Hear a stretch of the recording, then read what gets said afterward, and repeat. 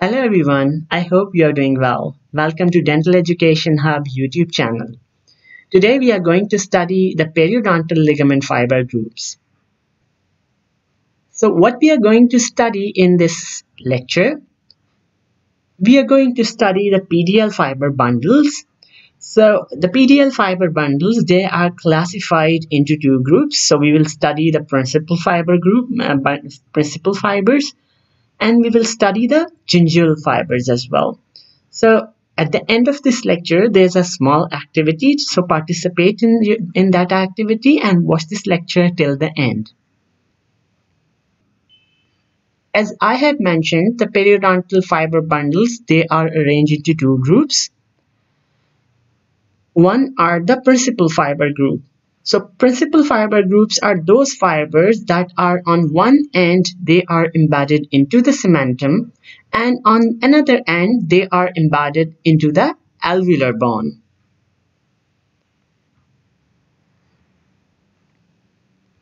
So this is a picture of the longitudinal section of a molar.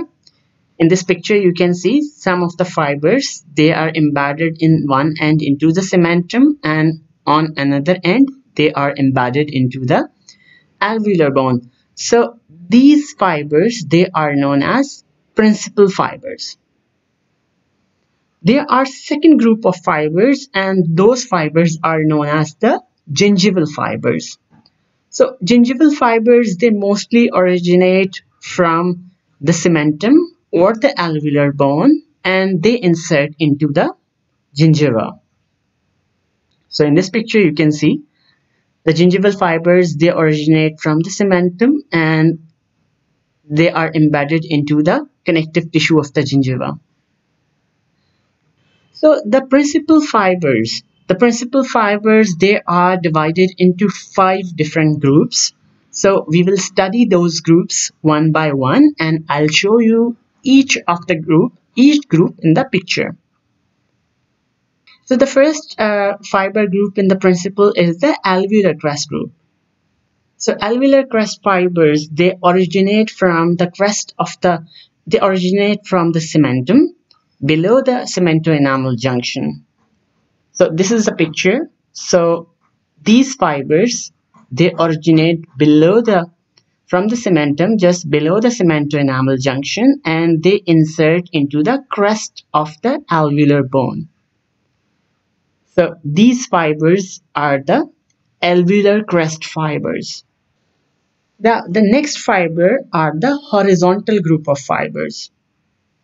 The horizontal fibers, they are present just below the alveolar crest group and they run at right angle to the long axis of the tooth. So in this picture you can see the horizontal group, they are present just below the alveolar crest fibers so these are the horizontal fibers. They are at 90 degree to the long axis of the tooth. The third group of principal fibers are the oblique group of fibers. These fibers, they originate from the cementum and run in an oblique direction and insert into the bone coronally. So these fibers, they also or originate from the cementum below the horizontal group and they insert into the alveolar bone in a coronal direction, in an upward direction. So these fibers, these oblique group of fibers, these all are the oblique group of fibers and these fibers are the most numerous or these fibers are more in number as compared to the other principal fibers. So now the next fiber group in the principal uh, fiber group is the apical group. So as the name shows, apical, it means it is present at the apex of the tooth. So these fibers, they originate from the cementum at the root apex and insert into the alveolar bone.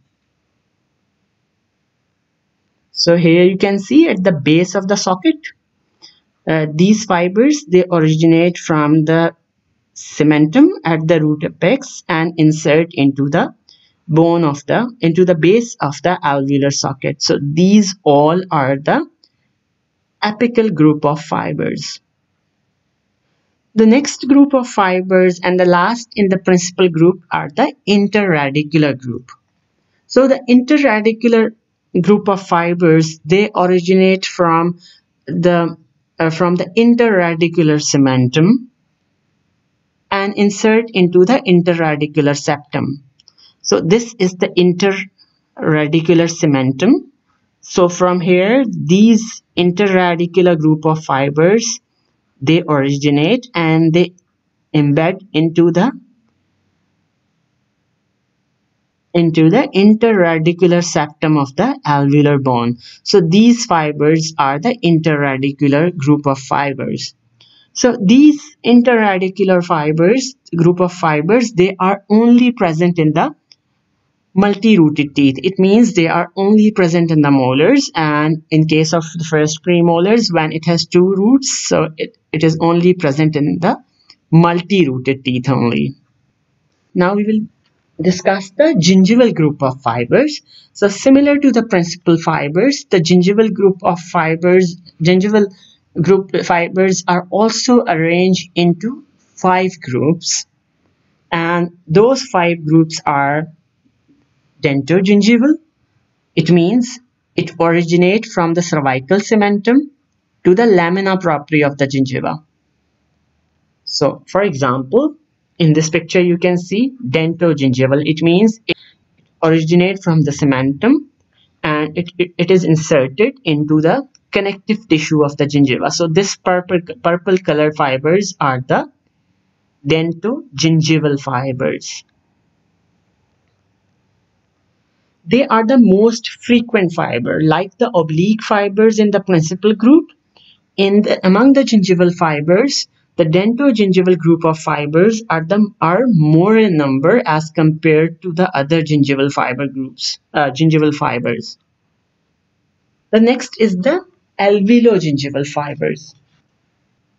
The alveolo-gingival fibers, they originate from the alveolar crest and and they extend into the lamina propria of the gingiva.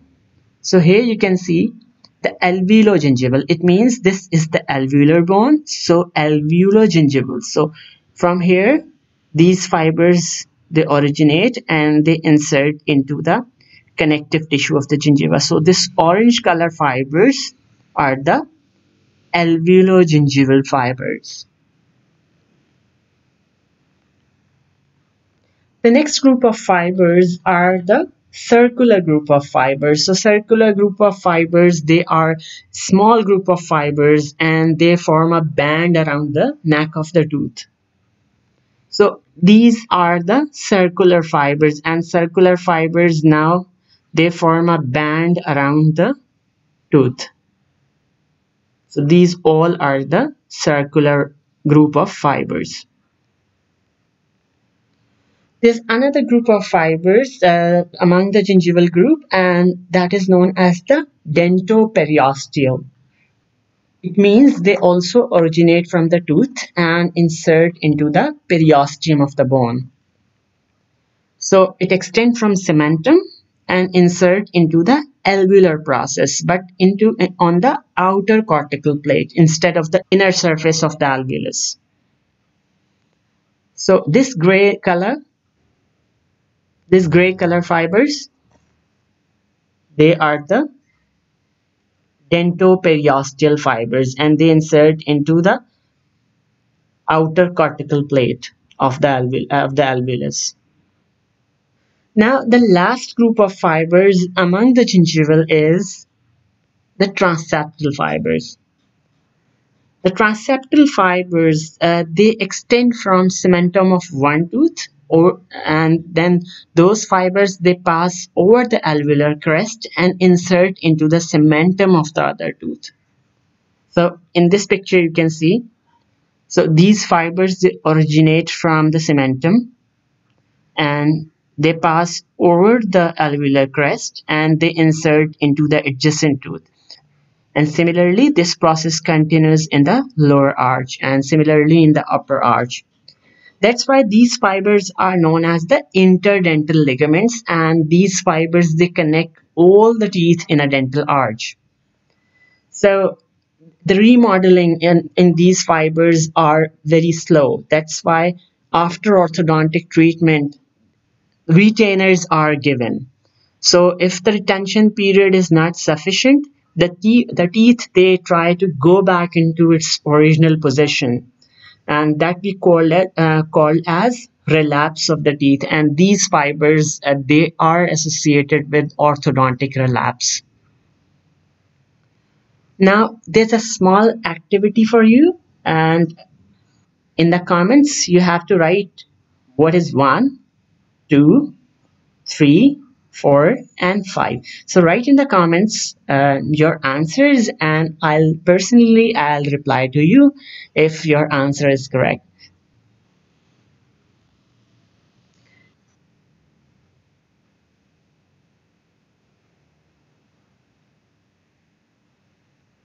Thank you very much. Uh, do give us your feedback in the comments and do participate in our in our activity as well. Thank you.